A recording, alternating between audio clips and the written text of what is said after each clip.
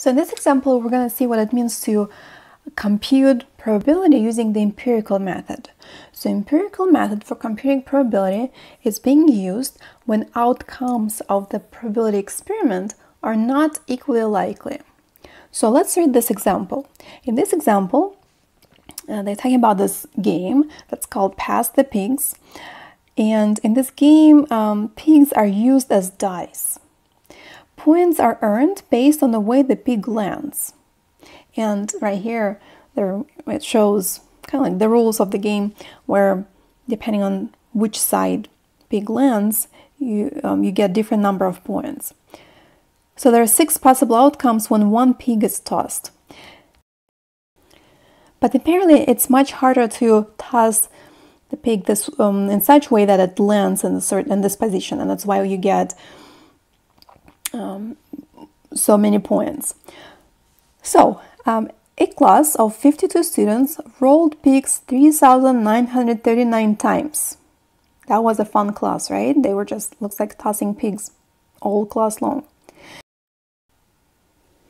The number of times each outcome occurred is recorded in the table at right. So according to this table, pig landed on the side with no dot 1344 times and pig landed in the position that's called snouter so I think it has to land on a snout um, only 137 times. So um, let's try to answer the first part of this question. It says, use the results of the experiment to build a probability model for the way the pigs land. Now, what is the probability model? It says here, probability model lists the possible outcomes of a probability experiment and each outcome's probability. So here we have another table. That's the one we're going to use for constructing probability model. Um, these are all possible outcomes, right? These are six different positions in which pig can land and we want to calculate um, corresponding probabilities. Once again, in this situation, the outcomes, those outcomes are not equally likely. Some outcomes are more likely, so it's kind of like easier for the pig to land on a side with no dot rather than um, compared to the snout. So how do we calculate probabilities in this case? Well, that's where we have to use the empirical method. And according to the empirical method, probability is the same or approximately the same as the relative frequency of outcomes. But how do we calculate relative frequency? Well, it's the same as proportion, right? So in other words, we have to take the number of time the outcome, specific or certain out outcome is observed and divide by the number of repetitions of the experiment or uh, in other words, the total number of outcomes. So the way we're going to calculate probability is that we're going to literally calculate relative frequencies for those outcomes. Um, that means that we need to have total. So I'll put it here. Um, well, actually, total we know, right? We don't even need to add up because it was given here.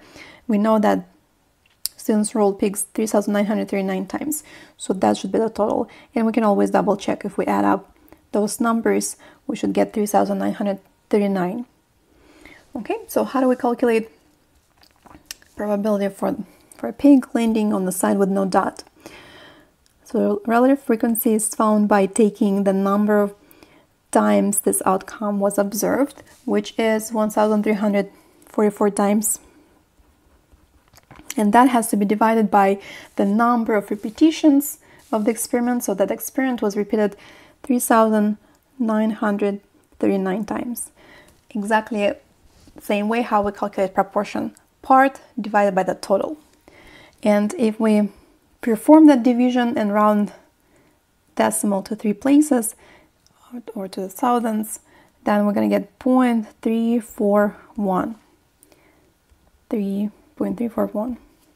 Okay, so for calculating probability for this for pig landing on the side with dot, we have to take number of times this outcome was observed and that is, according to the table, 1294 times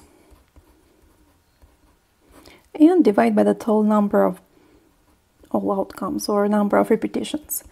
That decimal would be 0.329.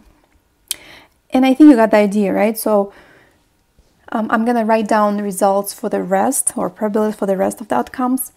I have them calculated 0.195, 0.093, and it would be good exercise to double check those uh, those numbers.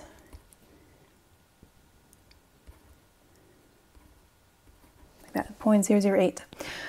Now, before we move on, let's let's think or ask one extra question here. What happens when I add all those decimals together or all those probabilities from probability model? What number should we get? Well, we should get 1. Let's check that. So it's good that I checked because I found a typo, so I didn't copy that number correctly. That's 3.321, 0.329. So the total that we get here is 1.001. And um, yes, it's not exactly 1, but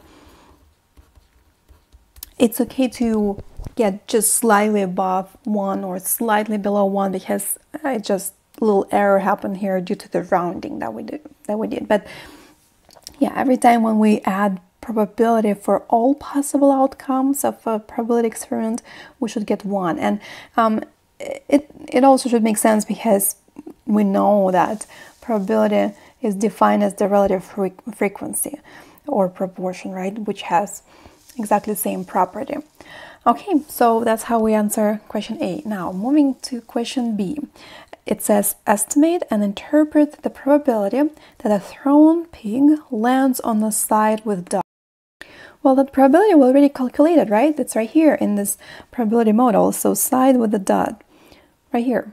So probability of that event happening is 0.341 and it's based on the collected data. It's based on the experiment that was run um, 3,939 times and um, relative frequency was used to estimate probability.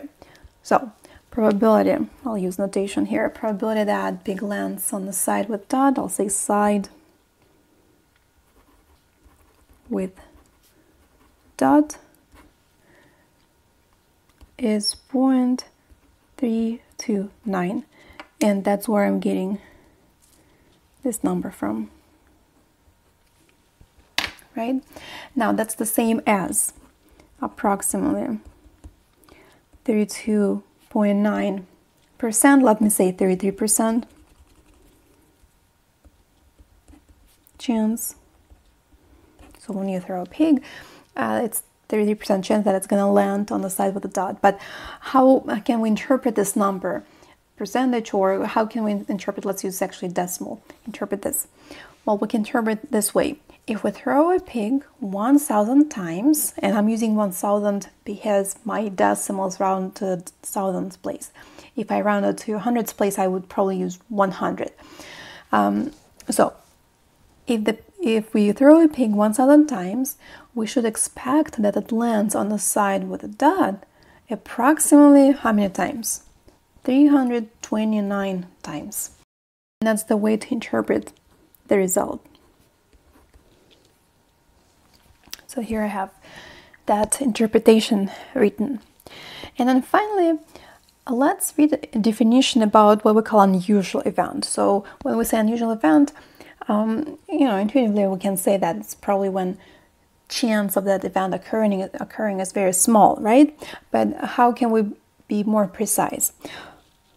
Well, um, sometimes, and it's it's common um, in many textbooks um, and other resources. Uh, so sometimes people use the cutoff of 0.05.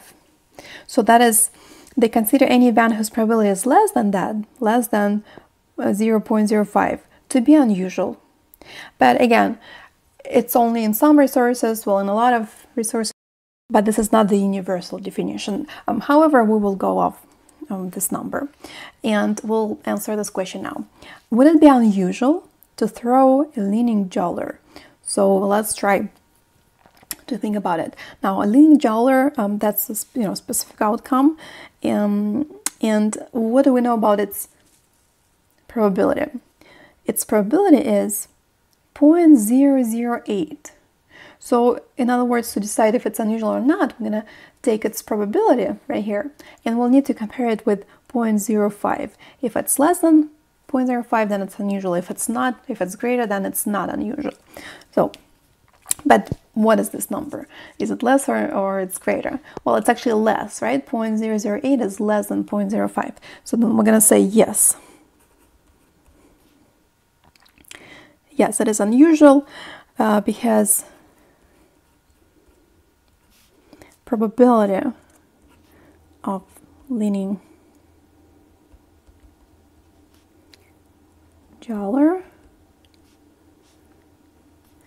is 0.008 which is less um, I'm going to use mathematical symbol for less less than 0.05 remember that stands for less okay? Um, and that's the reason. Now if we're given probability let's say in terms of percentage so what percent would it be? It's a point move decimal point two places right? So it's 0.8 percent. Then we need also to view uh, 0.05 in terms of percent. So and that is 5 percent. So in other words we can kind of like redefine this definition. So we can say that um, any event whose probability is less than 5%, right here, less than 0.05 or less than 5%. Um, that, that event is called unusual. Okay, so that's how we look at it.